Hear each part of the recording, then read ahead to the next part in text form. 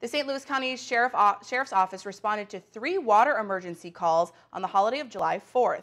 Now, a 65-year-old man was found unresponsive in the water in Bear Island Lake near Babbitt after attempting to swim to a floating object in the water. People on scene performed CPR on the man. He was then taken to Ely Bloomenson Hospital and is reported to be conscious. A 69-year-old man was hospitalized after he jumped off a pontoon boat to swim on Pelican Lake in Orr. People on the pontoon reports, re performed CPR on him as well. He was conscious and alert when first responders arrived. And lastly, de deputies also responded to Bassett Lake for a 47-year-old man injured by a tow rope while water tubing behind a boat. The man was taken by private vehicle to a Duluth hospital with non-life-threatening injuries.